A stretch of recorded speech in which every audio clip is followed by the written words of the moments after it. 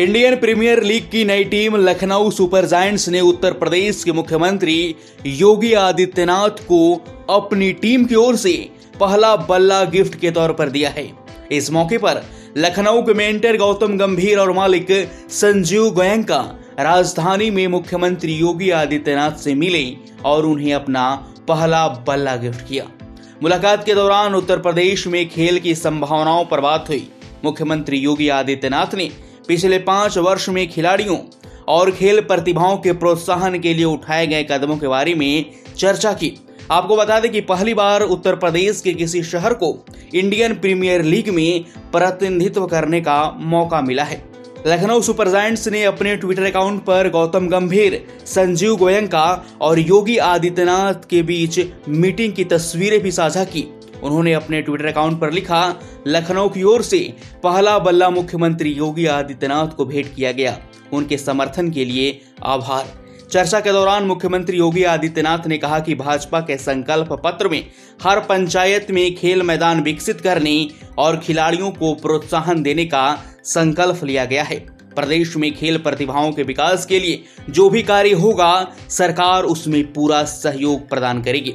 संजीव गोयंका ने मुख्यमंत्री से मुलाकात के बाद उत्तर प्रदेश के बदले माहौल की सराहना की। उन्होंने कहा कि मुख्यमंत्री के प्रगतिशील विचारों से मुझे प्रोत्साहन मिला और प्रदेश में और इवेंट करने का भरोसा दिलाया गया।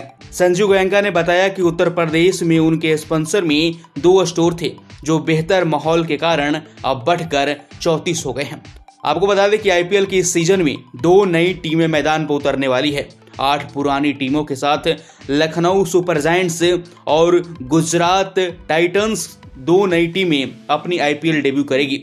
लखनऊ ने गौतम गंभीर को टीम का मेंटर नियुक्त किया है और साथ ही एनडी फ्लावर को मुख्य कोच नियुक्त किया गया है। वहीं पिछले सीज़न में पंजाब किंग्स की कप्तानी करने वाले भारतीय बल्लेबाज के राहुल को कप्तान नियुक्त किया गया है। मेगा ऑक्शन में लखनऊ ने कुछ बेहतरीन खिलाड़ियों को अपने साथ शामिल किया है।